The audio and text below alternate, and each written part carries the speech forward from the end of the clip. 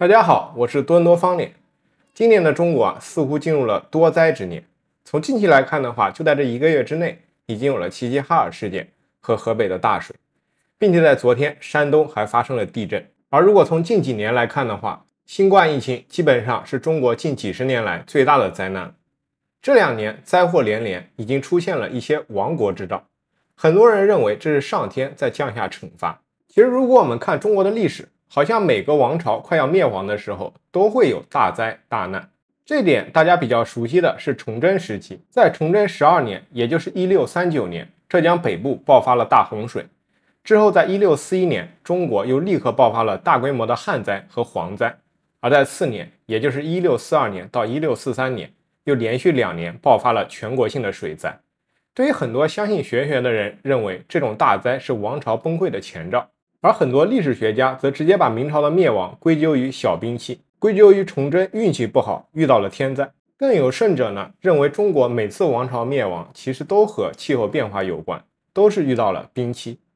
当然，其实在我看来呢，运气不好是一部分原因，但是其实要我说，这种灾难的频发更像是一种症状，而非是病因。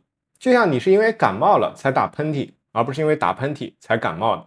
这句话怎么理解呢？为什么大家总觉得王朝末期灾难频发？它除了气候问题，很大一部分原因也是因为王朝末期中央的能力下降所导致的。因为这种能力的下降，它会放大灾难，这才造成了王朝末期灾祸频发的一个景象。当然，甚至在有些时候，这些灾祸本身就是政府能力或者说中央王朝能力下降所导致的。也就是政府还有能力的时候，它其实面对天灾是可以减轻灾祸的；而当政府能力衰弱的时候，则会放大灾祸。甚至主动制造灾祸，比如，其实如果我们回顾中国历史，根据中国著名气象学家竺可桢的统计，在秦朝完成大一统之后，中国历史上一共有五个气候异常期，并有一个极端异常期。五个气候异常期分别是五世纪前后，也就是魏晋南北朝时期；十二世纪上半叶，也就是北宋末南宋初；十四世纪初，也就是元代中期；十五世纪末，也就是明代中期。还有最后一个就是十九世纪中期，也就是清代晚期。但是我们能发现呢，在这五个时期中，其中三个造成了朝代的更替，而另外两个并没有摧垮当时的政权。当然了，中国还有一个极度异常期，也就是从一五五零年开始的小冰期，这就是上面说的大家认为摧垮明朝的小冰期。这个小冰期到来之后，中国开始灾祸频发，比如在明天启时期，江南地区就发生了包括水灾在内的多项灾害。这些灾害直接导致了大规模的灾荒出现，而这些灾荒直接引发了1622年的白莲教起义。啊，注意一下，这个白莲教在中国呢，它起义很多次。大家可能认为只有在清朝才有白莲教，但是其实不是的，它在明朝就造过反，甚至有人认为呢，朱元璋的红巾军本身就是脱胎于白莲教的。而白莲教的历史最早可以追溯到宋朝时期，而到了崇祯年间，灾祸则更为严重。就是我上面所述呢，从一六三九年开始，明朝就开始连年遭灾，这让很多人认为崇祯是因为运气不好，撞到了小冰期才导致明朝灭亡。但是我们却能发现，在十七世纪，小冰期才达到巅峰，而小冰期对于中国的影响最大的一次是在一六六二年，也就是康熙时期，中国发生了有记载一千年以来最严重的一次水患。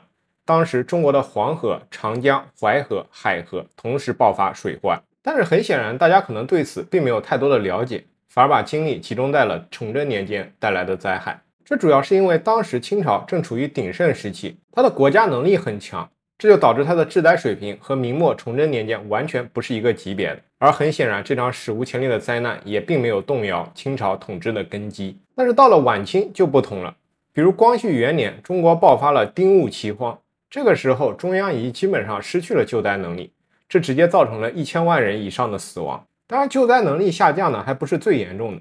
最严重的是，即使晚清，其实气象也并没有康熙年间异常，但是其灾荒的数量却出奇的多。王朝能力的下降会大大增加灾难出现的一个概率。同样是根据竺可桢的统计，在公元前二零六年之后，也就是汉朝建立起来之后。到十九世纪，中国一共有记载的灾荒，大概换算下来是每百年四十八次水灾，每百年四十九次旱灾，也就大概率是平均每两年有一次水灾，一次旱灾。但是到了清末，也就是一八四零年到一九九一年间，根据《清史稿》的记载，基本上每年都是水灾和旱灾并行。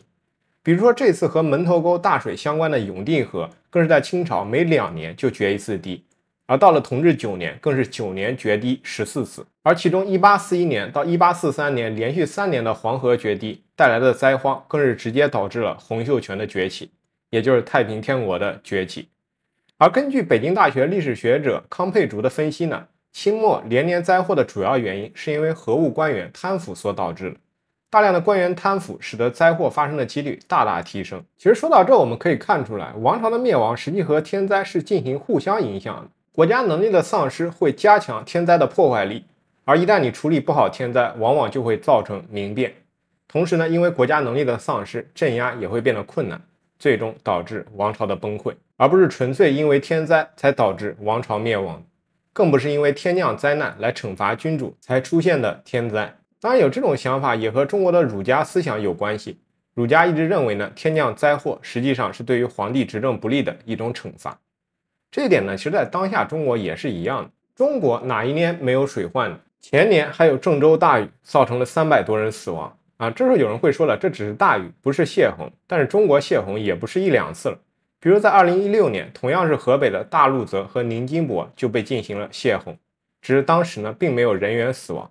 这种泄洪的新闻呢，你也可以在网上找到很多，但是以前的泄洪并不会造成这样的乱象。此外，对于洪水，大家记忆最深刻的应该还是九八年的大洪水。同样的问题，其实在前朝还是能控制住的，而到了金朝就已经有点难以处理了。而产生这样的情况，主要也是因为中国目前的政府能力在下降，而这个政府能力下降又分为很多方面。首先就是基层能力的下降。有人会说，现在的中国基层能力哪里下降？习近平上台之后，强化了政府的权力，不是加强了共产党各级政府的一个能力吗？难道现在中国不是基层政府能力最强的时候吗？因为他们现在权力最大。其实不是，我们从这次水灾就能看到，虽然习近平通过反腐集中了权力，但是他把权力集中在了中央。伴随着中央集权的进一步强化，基层的政治自主性在逐渐丧失，而伴随着自主性的丧失，基层的秩序也已经开始逐渐乱套。比如我们能看到，在这次水灾中出现了非常多滑稽的情况。你像前两天神州救援队，他和蓝天救援队还因为物资问题发生了冲突，打起来。虽然最后发了个视频进行和解，但是这个真的是和解了，还是迫于舆论压力，担心产生不好的影响进行了假和解，我们就不得而知了。只是这种救援队矛盾的公开化，在以前是很少有的。当然，物资问题并非只出现在救援队之间，比如我们看这个视频。我问了啊，这边物资库房太多了，那个村里边领不了啊，村里边领不了，只能乡镇级别以上开具证明然后来领，呃，村里边的村民更得不到，呃，一会儿半会儿拿不到这些物资，呃，不一定倒多少到手，如果有必要还是。直接到村民手里合适。现在就是村里边这儿都不让领取，呃，只有村村镇级别，呃，村乡镇级别以上，然后村里边再到乡镇去领。看看看，太多了啊，太多了。繁琐的流程带来物资无法顺利发放的情况，在这次抗灾中也是屡见不鲜。当然了，还有更多抽象的情况，我就不在这边放视频。有时候说中国的反腐啊，它虽然可能轻微的降低了中国的腐败程度，但是它严重的摧垮了中国的效率。各级官员现在都十分惧怕承担责任，官员的主观能动性完全丧失了。而且更可怕的是，中国的腐败程度最多也只能说是轻微的降低。为什么说只是轻微的降低呢？就和上面说的大清是因为贪腐导致的水灾频发，中国目前呢其实也有这个趋势。比如比较典型的就是前段时间爆出的郑州花巨资在给河道干挂大理石一样。而此外，河南的救灾资金也被贪污了。而中国两万亿级别的海绵城市计划，现在看起来也完全是个笑话。而另一点让人比较诧异的就是在这次水灾中各级官员的一个表现。之前有句话叫做“消失的秦刚”，但是我们却能在这次灾难中看到了各级官员的消失。首先是最高领导人的消失，比如习近平到现在都没有出现在灾区，和以前的领导人形成了鲜明的对比。以前呢，他至少要出现在灾区做做秀，但是现在呢，习近平却没有。而我和很多人认为的是，因为习近平不关心、不在意，所以不到红区去视察不同。其实考虑到目前习近平出访的一个安全级别，我认为目前就算习近平想，他也没有办法到灾区去视察。中共目前无法在灾区拉起来符合习近平安全标准的警戒水平，没有办法在灾区保证习近平的安全。也就是不论习近平他现在到底想不想去灾区，但是至少在我看来，习近平其实已经没有能力去灾区视察了。此外呢，按照以往的惯例，就算总书记不去呢，总理也要去。不过呢，依照目前的情况，总理已经不是以前那个总理了啊。习近平不去，他不去，这也是很正常。当然了，更让人震惊的，除了中央领导人的消失，还有各级市县领导的消失。比如到现在都还没有出现的涿州市市委书记以及市长，他们面对水灾就直接神隐起来了。这个呢，已经有点晚清官员的那个味道了。当年晚清官员呢，直接面对水灾就开始摆烂了，不处理水灾的问题，也不会去现场。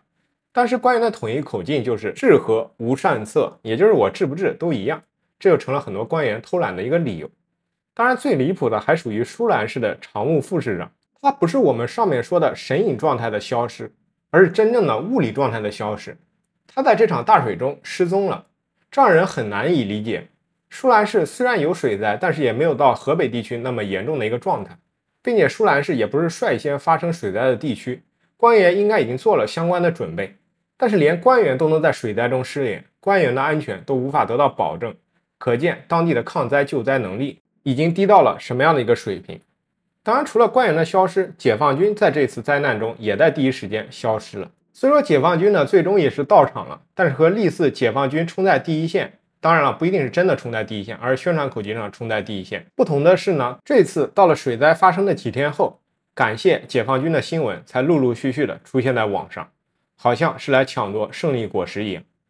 当然，除了这些消失，我们还看到很多的不同。这就是我说的中央目前的第二点问题，就是中央对社会的掌控力其实是在减弱的。这点首先体现的就是宣传口径上的崩坏。中央这次似乎并没有占据舆论的高地，各种关于水灾的新闻被大家群嘲，即使控评外加删除言论，甚至包括限制无人机的使用，都没有阻止各种视频的流出。大量的受灾视频在网上流传，我们不禁要想，为什么会成这样子？难道以前就没有人受灾吗？郑州水灾的死亡人数理应比现在要多得多。当然了，至少在官方口径上是如此。在我看来呢，这主要是因为自从白纸革命之后，中央对于人民的掌控力就越来越差，越来越多的人愿意把受灾的视频发出来。当然了，这一原因主要是因为现在大家对于政府的怨气在逐渐增长，而另外一方面原因呢，也是我上面说的，中共现在基层的宣传能力也在下降，宣传部门已经丧失了基本的能力，他越来越没有办法掌握舆论了。他在这次水灾中犯了一些非常低级的错误，比如说拿三年前的照片来宣传解放军，结果被大家发现。但是要说的是呢，中共的洗脑工作还没有到完全崩坏的一个状态，还是有不少人愿意相信中共的洗脑的，只是呢这种人越来越少了。中共的掌控力在崩坏，也不仅仅体现在洪水这件事上，还体现在方方面面。比如最近中央组织了一场针对于失业率的调查，认为现在各级高校呢存在大量的毕业生就业率造假问题。当然了，我认为这并非是中央在作秀，而很有可能是中央真的已经完全无法掌握真实的就业率了。中央也已经开始逐渐丧失了对于信息的掌握。当然了，这也是中央自己政策所导致的。因为根据网友所述呢，为什么那么多学校热衷于造假毕业率呢？除了毕业率可以提升学校的排名，这个毕业率呢也关乎到学科的存续。如果你这个学科毕业率特别低，你可能明年就没有了。因此，很多学校呢都在造假就业率。啊，这本身呢就是制度设定的问题。此外，更加严重的是，中央在财政上的掌控力在下降，中共已经越来越收不上来税了。当然，这个税并不指的是所得税，而是中国的特殊税种——土地出让金。这个我在以前的节目里说过，这边就不细说了。此外，第三点呢，我们还能看到中国的决策能力在下降。我们就说这次水灾，它本身呢肯定和降雨量过大是有关系的，但是其实它很大一部分原因也和中央的错误决策有关。比如我们现在能在网上找到一篇一八年的新闻，这篇新闻的标题是“雄安新区为啥没动静”。清华教授说出了实情，而这篇文章其实是记录清华大学建筑学院教授尹志在二零一七年的一次演讲，其在演讲中就提到了雄安新区的问题。认为雄安新区所处的白洋淀周边是中国知名的洪涝区，地势非常低洼，并不适合修建新城。当然了，中国的舆论环境大家也是懂得都懂，毕竟呢，雄安新区是习近平的伟大决策，谁要是反对呢，可能性命不保。所以这个讲话呢，到了最后，该教授话锋一转，说什么要建呢也是可以的，但是要搞一套配套措施。说到这呢，大家应该就能发现，其实并非没有人提出过问题，只是提出问题的声音呢，全部被忽略了。正确的决定似乎已经无法被中央认可了，甚至很多时候呢，已经都不敢提出来了。就像最近网上流传很火的一张截图，据传呢是网信办内部开会的一个结果。里边的内容呢，确实突出的就是一个尊重国家命运、放下谏言情节。当然了，目前这个图真假未知，但是不论真假呢，这确实描述的是中国的一个现状。可以很明显的发现呢，伴随着中央开始沉迷于权斗，把权斗或者说所谓的政治安全放在第一位之后，中央能做出正确决定的能力就已经在逐渐丧失了。而做不出正确决定的另一个典型代表就是目前的经济政策。这个比较典型的就是最近的救市政策。现在的市场已经苦等救市政策非常久了，但是到现在根本没有任何颠覆性的救市政策出来。对于中国的救市政策，我都谈两个月了，但是到现在都还没等到，这都已经出乎了我这个反贼的意料。我都没想到中国政府能有这么低效。现在中共每次开大会都是在放空枪，而这种行为也在一次次的消磨市场的耐心。比如在八月三日，中国发改委发了个消息，将于八月四日早上十点召开会议。而这个会议的参会人员基本上都是中共经济相关的核心部门啊。当时我国内的一些炒股朋友非常兴奋，都在朋友圈发，认为呢大 A 要拉爆了，中国的经济将迎来新一轮的复苏。确实呢，当天的大 A 早间也拉爆了，很多人都认为会有非常有利的政策出台。结果到了发布会结束，大家才发现又全是场面话和套话。随后大 A 应声回落。当然，我认为在未来呢，这种虚晃一枪的事情应该还会不断的在中国发生。其实很显然，中国现在的经济下行压力可以说是加入世贸以后最大的了，但是其政策出台的力度却低到令人发指，已经让人怀疑中央还能否做出有效的救市计划，再次出台一个类似于当年温家宝的四万亿救市计划来扭转乾坤。当然，无法做出正确的决策，最典型的案例还属于新冠防疫。新冠防疫来看呢，现在基本上就是人为制造的灾难。而如果你看我节目看到现在还想不清楚这一点，我建议你不要再看我节目了，你现在去医院看看脑科。其实，尤其在疫情的后两年呢，也不是没有人提出相关的建议，比如说张文宏之类的。当然，内部也有些官员，只是呢，这些不同的声音都被体制消灭掉。甚至有时候你从全局来看的话，近十年可能中国都没有什么真正有意义或者说做对的决策。不论是中美关系，还是什么打压民营企业家等等等等，而这种情况其实在晚清也是类似的，内斗或者说过于执着政治安全，逐渐摧垮了大清的能力。在一八六零年的大清，那时候虽然已经爆发了太平天国之乱，但是中央还是有一定协调能力的。你像李鸿章这样的大臣，也是可以成功组建有战斗力的军队去对抗太平军的。但是到了之后建设北洋水师的期间，李鸿章就受到了巨大的限制。比如在一八七五年的四百万两水师的军费，因为受到了其他的大臣阻拦，最后到手只有不到两百万两。我们历史书上教我们，这都是因为中央政府没钱了啊，钱被拿去修圆明园了啊，被慈禧拿去过生日了。但是其实这么想是不对的。比如在中央不给钱之后，李鸿章为了解决北洋水师军费不足的问题，就开始自己搞官办银行获得资金，结果受到了翁同龢的反对。之后又寻求和美国人合办商业银行来获得军费。但是依旧遭到了翁同龢的反对。当然，翁同龢为什么能反对？那背后肯定是有慈禧的支持。而我们以现在的眼光，肯定都知道北洋水师覆灭的一个重要原因，就是因为经费不足。当时阻止北洋水师获得军费，从历史角度上来看呢，这完全是清廷自杀的一种行为。但是很明显，清廷就这么做了，就是做出了错误的决策。你说当年大清有没有能提出正确决策的大臣？或者说放到现在，有没有能提出正确决定的官员呢？那肯定是有的。只是他们的决策已经完全无法被采纳了，为什么呢？这其实就是王朝末期过于注重政治安全的一个副作用。就像上面说的一样，为什么李鸿章发展北洋水师的时候，翁同龢要对他处处掣肘？难道真的就是因为翁同龢他迂腐吗？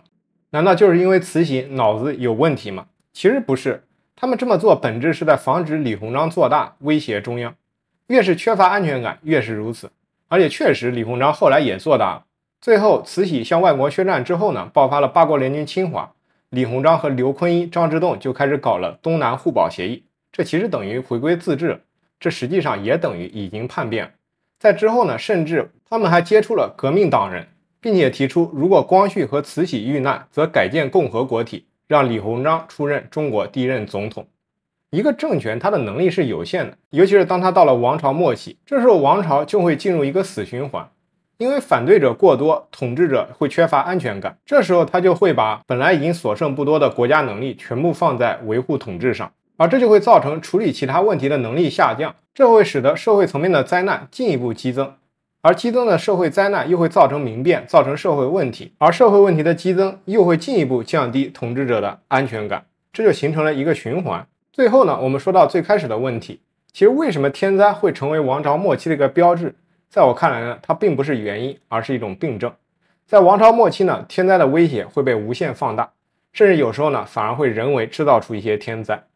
而现在的时间仅仅是八月初，我们不知道今年还会不会有更强烈的台风，也不知道什么时候会有新一轮的大地震，而什么时候又会有新一轮的病毒。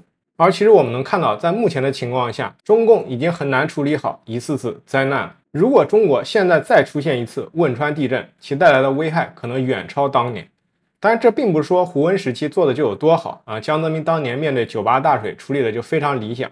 但是其实不论怎么样呢，他也要比现在强很多。当然，事情呢一般都是有两面性的。这种能力的下降呢，也有自己的好处。首先就是伴随着中共能力的下降，也标志着他越来越难维持这个社会的稳定了，维持自己的红色江山永固了。有时候要说谁才是中共的掘墓人，要是习近平敢说第二，肯定没有人敢说第一。在他执政的这几年，尤其是疫情后，中共的能力和威望都在迅速的下降。此外，第二点好处就是台湾人现在应该能稍微乐观一些。以中共目前的能力，已经越来越显现出没有办法与台湾正面对抗了。我们很难想象，以中共目前的一个调度水平，如果真的和台湾开战了，他将如何维持中国内地的物资供给？或许台湾还没打下来，自己内部就已经爆炸了。而且中央军队到底存在多少贪腐行为，我们也不得而知。这点可能和目前的俄罗斯有些类似，只是目前来看呢，中国的问题可能比俄罗斯要严重的多。其实有时候也挺难受的，中国下面很有可能就是面对一次次的灾难，然后中共一次次处理不好，在处理不好之后呢，又会引发一次次的抗议，最后规模越来越大，直到中共垮台。中国人可能必须在灾难中才能迎来自己的民主。感谢收看今天的视频，我是多伦多方脸，希望你多多点赞我的视频，这样可以增加 YouTube 推荐我的一个权重。同时感谢大家在 B 站评论区的留言，我们下次再见。